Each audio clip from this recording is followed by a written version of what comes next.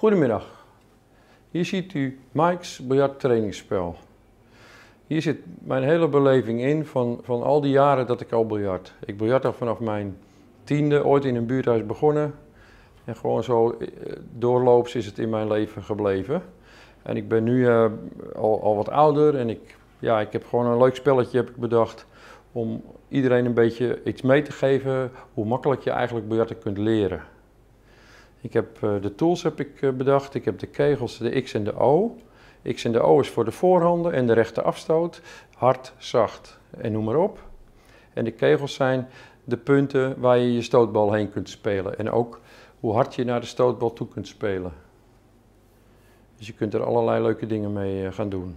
Dus je kunt de diktes mee bepalen en, en noem maar op. Dus je leert goed bal 1 en bal 2 en bal 3 te vinden.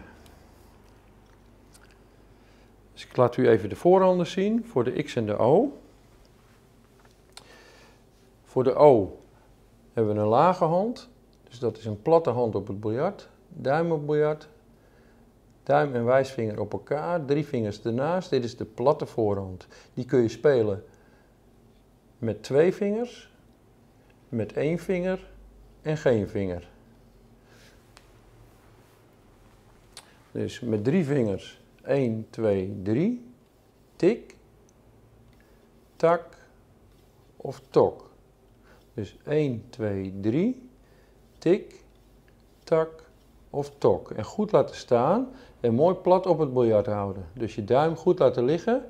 Tijdens het stoten 1, 2, 3, tik. Goed je keu laten liggen, terughalen en omhoog. Ik ga het even met de bal demonstreren. Onderaan de bal. 1, 2, 3 en tik. En goed laten liggen en rustig wachten dat de spelbal weer terugkomt. Of dat de karambool gemaakt is. Dat kunnen we ook met een hogere voorhand doen. Dus de middelvinger onder de duim, wijsvinger erop. Kijk, zo zitten we wat hoger aan de bal. Dus dan zitten we even iets hoger met de trekstoot. Zetten we weer achter de O neer. Kijk, u ziet dat we nu iets hoger in de O zitten. En dat is nog steeds een trekstoot, alleen meer naar het hart. Die kun je met twee vingers spelen, met één vinger of geen vinger. Zo is hij liggen plooit, zo is hij met één vinger, zo is hij met twee vinger. Goed achter het rondje gaan staan en leer een mooie afstoot. Dus 1, 2, 3. Als je hem kunt tikken is het goed. Als je hem kunt tokken is het goed. En takken. 1, 2, 3. Tak.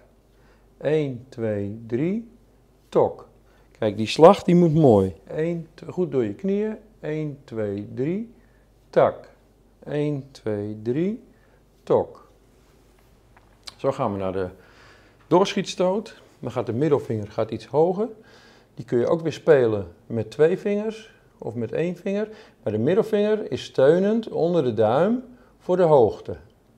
Kijk, zo zie je de duim en de middelvinger hebben contact. Wijsvinger erop zo heeft hij een mooie, stabiele hand. U kunt twee vingers gebruiken, één vinger gebruiken of geen vinger gebruiken. Dan steunt hij gewoon op de hand, op het biljart. Dat heeft weer te maken met de loop van de bal. Dus we zetten een mooie hoge hand neer. Net boven het hart, dus nog niet de top. Kijk, de top gaan we zo halen, dus dan zetten we de vinger iets hoger.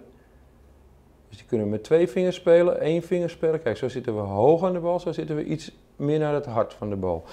Goed dragen weer. 1, 2, 3. Tik. Dat is de stoot. 1, 2, 3. Tak. Dat is de stoot. 1, 2, 3. Tok. Dat is de stoot. En dan rolt de bal mooi weg. Kijk u maar. Dus een hoge voorhand. 1, 2, 3. Tok. Kijk, dan loopt hij mooi weg. Terug en omhoog. Dus je laat de keu goed door de bal gaan. Nou, daar zijn de X en de O zijn daar perfect geschikt voor om dat even lekker soepel te trainen. En dat u makkelijk gaat staan achter de tools. Dus 1, 2, 3, dat het geen moeite kost. Gewoon uw ademhaling goed kunnen regelen. 1, 2, 3. Tak, goed blijven staan. Dat is ook de manier om karambols te maken. Dus ook om een bal weg te stoten. Dus om een bal weg te stoten, dat doen we dus 1, 2, 3 tak, goed blijven staan, terug en omhoog. Dus je stoot hem goed weg om een karambool te maken.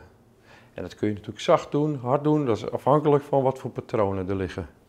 Maar je krijgt door aan, dit, eh, aan deze tools te denken tijdens het stoten, dat je, dat je bewust wordt dat je recht door de boom moet blijven gaan, krijg je een super zuivere afstoot. Kijk, de tools die, eh, die zijn er om om te spelen. Ik laat u zien dat je dus met kleine tikjes, iets langere tikjes, gewoon alle kegeltjes gewoon kunt benaderen. En dat kun je heel hard doen, dat kun je heel zacht doen, dat kun je via dus direct doen, maar je kunt het via één band doen, via twee banden doen, drie banden doen. Je kunt ze altijd vinden. Dus je kunt de losse banden, kun je er ook heel mooi mee spelen. Ik laat u zien dat je bijvoorbeeld met een trekstoot, die we hier op de ogen hadden, met een lage bal, gewoon een mooi tikje kunt leren. Dat je zachtjes, kijk, we kunnen dan de, de vuist maken met één vinger of twee vinger of drie vinger. Nou, speel in dit geval één vingertje, klein tikje. Kijk, goed kijken bij de bal. Kortere voorhand, platte hand en dan 1, 2, 3 en dan is het tik. Kijk, en dan zachtjes tegen de kegel aan. Kijk, dan gaan we naar de tweede kegel. 1, 2, 3, tak. Kijk, en ook weer zachtjes tegen de kegel aan. Dus je mikt op de kegel. 1, 2, 3, tok. Kijk, en weer zachtjes tegen de kegel aan. En je blijft mooi staan. U ziet dat staan blijven, dat dat de richting aangeeft waar de bal naartoe gaat. Dus 1, 2, 3, tok. En je blijft mooi staan. En zo gaan we naar de vijfde kegel. 1, 2, 3, tik. Kijk, een rustig tikje. En u blijft mooi staan. Kijk, en zo kun je ook deze bal gaan maken, de karambol. Dan denk je, kijk, hier liggen twee ballen. Nou, je mikt op één bal en eigenlijk mik je ook op een punt op de bal waar de kegel staat. Dus je moet de kegel zien staan, welke dikte je dus wil spelen. Dus als jij alleen de witte bal wil raken, dan speel je hier. En als je alleen de rode bal wil raken, ga je hier spelen. Zo bepaal je dus de diktes. Dus je maakt een keus. 1, 2, 3 van rood. Tik. Kijk, en dan gaat hij van rood. En rustig blijven staan. Nou, dit was even een klein videootje voor u. Ik wens u veel plezier.